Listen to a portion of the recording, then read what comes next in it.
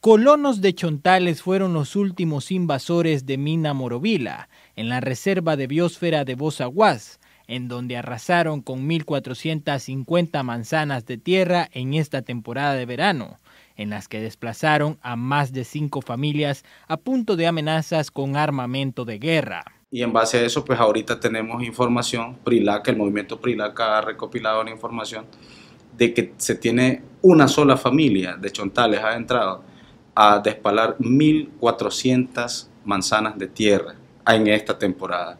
Y otra familia está trasladando 5.000 cabezas de ganado en el sector de la mina Morovila. Y todos estos problemas, estas áreas son áreas tituladas y en, la mayoría de los casos son áreas de la reserva de la biosfera Bosabas.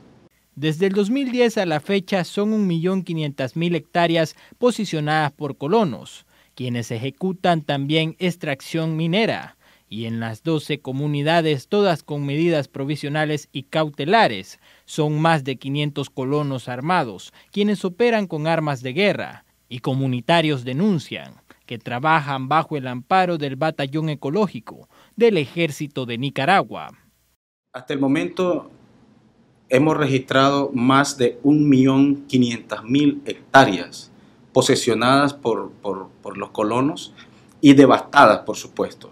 Cuando digo devastada estoy hablando de espale para la ganadería extensiva y aparte de eso, de la extracción ¿verdad? de los recursos naturales. Ellos están extrayendo la madera, ellos están extrayendo el oro, entre otros recursos, el cual ellos lo venden, obtienen las ganancias para volver a invertir en ganadería y van ampliando.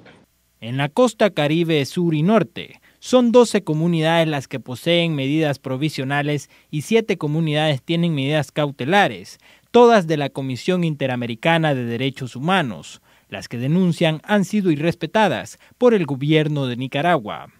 Lorenzo Vega Sánchez, Voz TV.